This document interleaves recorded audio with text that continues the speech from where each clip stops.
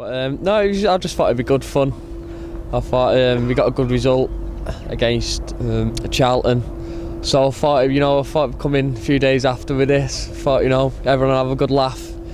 You know, it was just a bit of uh, for the Christmas spirit and like the team spirit. Yeah. And, and and now to the, the slightly more serious business because you've still got two massive games over the over the New Year period. Gillingham back at the Den, uh, followed by Wimbledon.